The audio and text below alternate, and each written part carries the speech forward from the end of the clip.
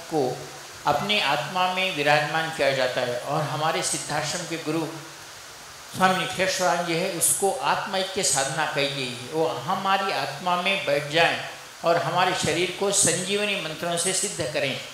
इसे आत्मैक्य साधना कहा, कहा गया है। ये जो मैंने संजीवनी साधना आपको बताई है अब सब लोगों से निवेदन है कि जो कल सुबह ब्रह्म मुहूर्त में उठकर सोलह माला गुरु मंत्र जब यहीं आकर करता है और गुरु चरणों में फूल चढ़ाकर करता है, केवल उन्हीं को ही वो दीक्षा, वो साधना आपको करवाऊँगा। मैं आठ बजे आपके पास आकर, वो जो मैंने आपकी संजीवनी कर गुरु पूर्णिमा है, गुरु गुरु पूर्णिमा के दिन ही साधना करनी है और गुरु जी अपनी आत्मा में समाकर अपने से साधनाएँ करवाते हैं, सिद्ध करवाते हैं और हमें उस सिद्धाश्रम की उस संजीवनी बुटी को अपने पास देने की क्रिया करते हैं।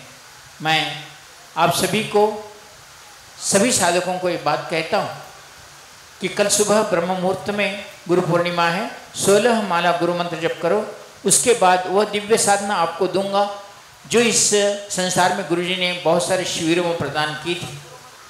जिस साधना से हमारा शरीर संजीवनी में हो जाकर सिद्धाश्रम प्रवेश करने के लिए योग्य हो जाता है। हम स्वयं अनुभव करें। मैंने इस साधना में ये देखा है कि जो इस साधना को करता है साधना के बाद वो उसको कुछ रोज की पूजा नहीं करनी है, केवल 21 दिन उसके उसका एक माला करना है। वह सिद्धाश्रम के सारे दृश्यों को अपने आँखों से देख सकता है, सिद्धाश्रम में विचरण करने वाले साधुओं को देख सकता है।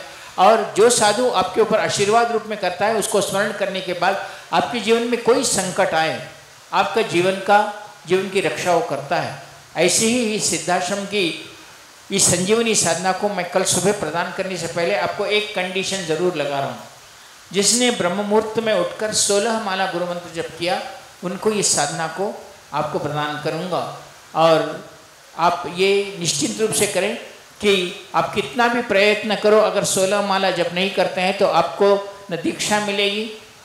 आपको अगर मुझे धोखा देकर भी साधना ले, दीक्षा लेना चाहते हैं तो फल नहीं मिलेगा। आप सोलह माला जब करने के बाद ही इसका फल आपको मिल सकता है। कल सुबह सोलह माला जप करो। कल गुरु पूर्णिमा है। आठ बजे हम उस साधना संपन्न करवाएँ, यहीं संपन्न करवा देता हूँ। उसके बाद उसकी दीक्षा देता हूँ। उसके बाद कल गुरु पूर्णिमा का परम पूज्य सदगुरुदेव जी और सिद्धाश्रम की योगियों में गुरु पूर्णिमा के दिन जो गुरुमंडल के लिए गुरुमंडल का जन्मोत्सव बोलो, हम हमारे ऊपर कृपा करने की इच्छा बोलो, उसके अनुसार हम साधना के बाद गुरु जी का पूजन करेंगे और उसके साथ साथ हमारी प्रथा नहीं है, फिर भी केक कट करेंगे और उसके बाद कल शाम में तीन जुलाई गुरु जी का महाप्रस्थान दिवस है। गुरु जी ने महाप्रस्थान 1998 में किया था। तो गुरु जी को स्मरण करते हुए उनको उनकी स्मरण में जो भी पुरुष हैं, स्त्री हैं, उनको जल का तर्पण करवाकर, वो ऋषि हैं, हमारे ऋषि तर्पण करवाकर गुरु जी को नमस्कार करते हुए, उसके बाद उनके लिए जो भी क्रिया करनी जाती है, वो क्रिया मैं शाम में करूँगा। और गुरु को यह प्रसन्न करते हुए कहेंगे कि गुरु जी, आप जहाँ भी हो, हम पर कृपा करें, हमारे साथ रहें, हमारे उन साधनाओं में सिद्धि प्रदान करें। जीवन के अंतिम क्षण तक, यही जीवन नहीं, अगले आने वाला जीवन भी हो तो हम आपसे जुड़ के रहें। आप पहली बार, आप हमारे आत्मा में स्थापित हो जाओ बाद में तो आत्मा काम करेगी कि हमें सिद्धाश्रम ले जाएगी और हमारी आत्मा हमारी आत्मा रह रहकर गुरु आत्मा की कहलाई जाएगी। वो परमात्मा में विलीन हो जाएगी। ऐसी साधना मैं कल इसलिए तुम्हें दे रहा हूँ कि हमारे हाथों से गलतियाँ तो बहुत होती रहती है। हम हम ऐसे कहते हैं कि हमारे को सिद्धियाँ तो चाहिए, लेकिन गलतियाँ भी करें। पाप भी करें, लेकिन पुण्य का फल चाहते हैं। पाप करते हुए पुण्य का फल चाहना ये कैसे हो सकता है? लेकिन अगर रावण ने भगवान शिव को प्रत्यक्ष करके पाप करते हुए पुण्य का फल सोने की लंका भोगी है तो आप भी गुरु कृपा प्राप्त करते हुए सोने की लंका में रह सकते हैं। पाप तो हर एक के साथ, हर कार्य में पाप जुड़ा हुआ है।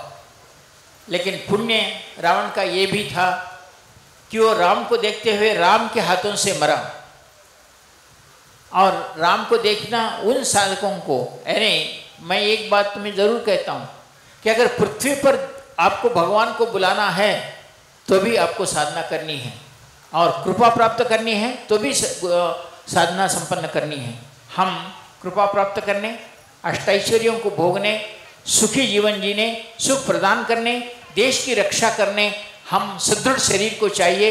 एक ऐसा शरीर जो कभी बीमार न हो, और ऐसा शरीर जो सारी साधनाओं को संपन्न करने के लिए योग्य हो अपने गुरु के एक वचन पर भाग के आने के लिए उसमें शक्ति हो, ऐसी साधना मैं कल सुबह आपको करवाता हूँ। सुबह गुरु मंत्र का सोलह माला मंत्र जब करें और आप रहें, आठ बजे मैं यहाँ आता हूँ। एक विशेष सूचना आपको दे रहा हूँ। कल गुरु पूर्णिमा है और यहाँ जितने भी गुरु मंदिर, अत्रि महर्षि मंदिर दश महाविद्या मंदिर और हाल का मंदिर और नीचे कुंड में शिव जी का मंदिर। ये पाँच मंदिर है।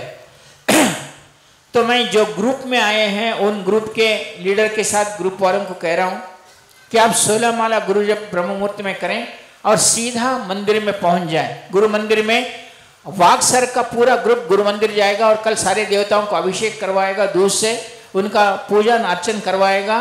और सात बजे तक यहाँ आएगा उनको अभिषेक करवाने के लिए उनके साथ उदय महाराज होंगे। अत्रि महर्षि के मंदिर में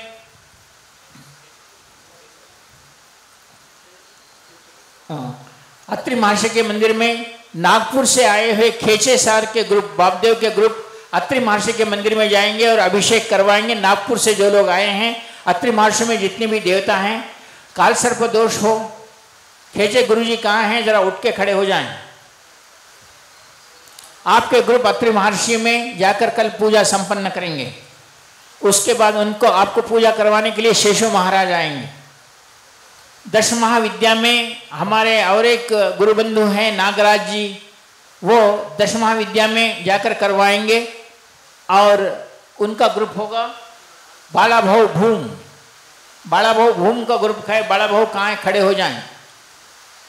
बाला भाव उनके ग्रुप के साथ दस महाविद्याओं में दसों महाविद्याओं का कल पूजन अर्चन करके आएँगे। यहाँ सोलह माला करने के बाद, उसके बाद हाल, ये बड़ा जो मोहन सेठ पूजा करते हैं, पल्लवी पूजा करती है, वहाँ मधुसूदन जी जाएँगे। और उमरखेड़ के साधक का ग्रुप है, अग्रवाल जी और उनके साथ का ग्रुप जो है, अग्रवाल जी खड़े रहे जहाँ भी हैं।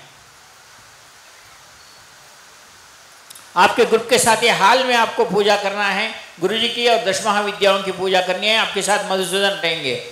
और नीचे कुंड जो है, नीचे जल कुंड में जहाँ हम साधना करवा रहे हैं, वो साइकिल यात्रा से आए हुए छत्तीसगढ़ के जो ग्रुप है, वो लोग जलकुंड में साधना करवाएँगे। उनका ग्रुप के आदमी खड़े रहें।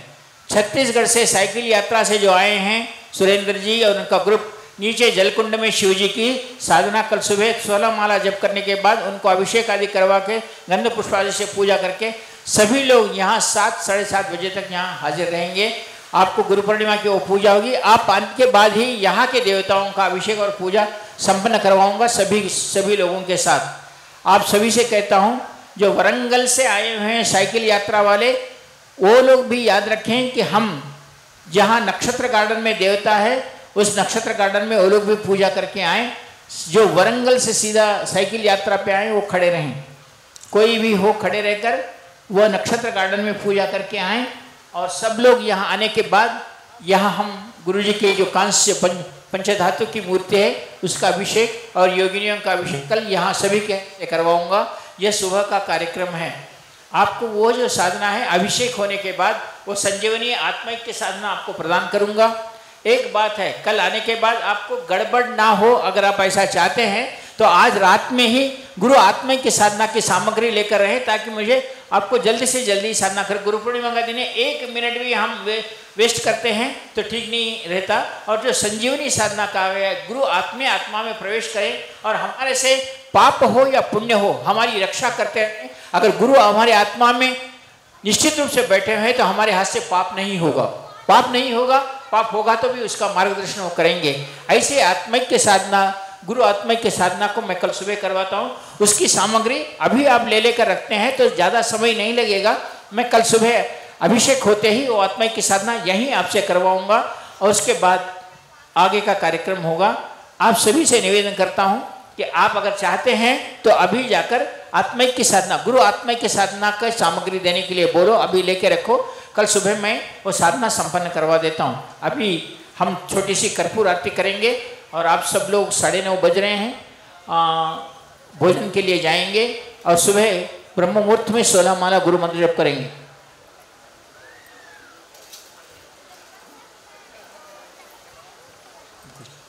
आप सभी लोगों को आश्रम को आपका घर समझ लें और जाए। भोजन की जगह ऐसा गड़बड़ नहीं करें। हमारे, मुझे बहुत लोगों से आ रहा है कि एकदम 500 हज़ार लोग जाके खड़े हो रहा है, उससे होगा।